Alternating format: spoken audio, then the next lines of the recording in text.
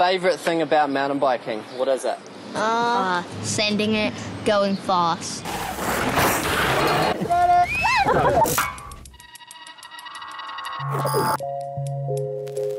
I think kids need simply a place to play. And I think it's really important to have a place to get away from the adults, from the, the regiment of school and the regiment of just home life.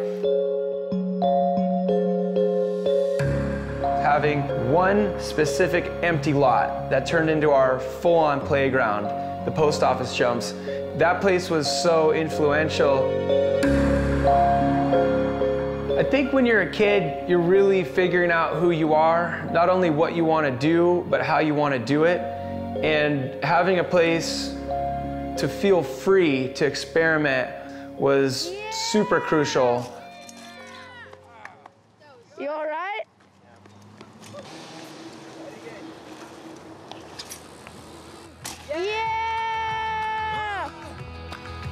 Can you do backflips!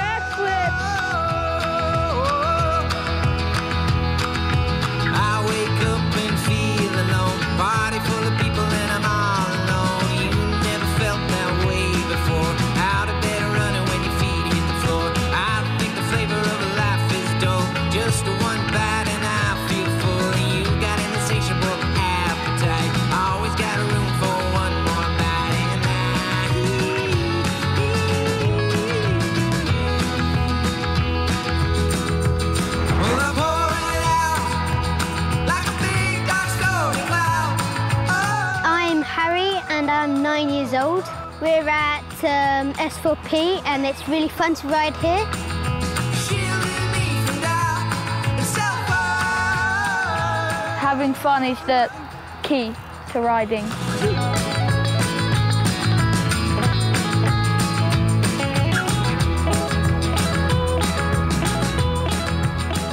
My name is Thea Riddle. And I'm Jake. And we are at Wynyard right now, and this is where we like to ride our bikes.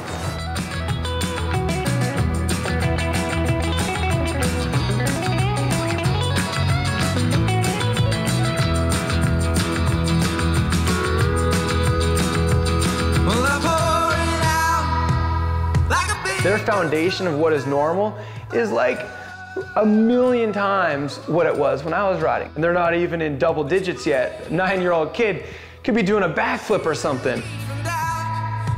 and. When I meet a little tiny kid who's doing backflips, I always make sure to tell him, like, you are on another level. You are a freak of nature. You're an alien. I have this little jump spot behind my house, and it makes me so happy when I look and I see like little heads pop up. Because these kids are hitting the jumps that I've built, and there's a whole little scene just bubbling and growing right at these little jumps, and that's all it really takes. And I think that's one of the most important things a kid can have is just the freedom to experiment and explore and figure out what they like for themselves.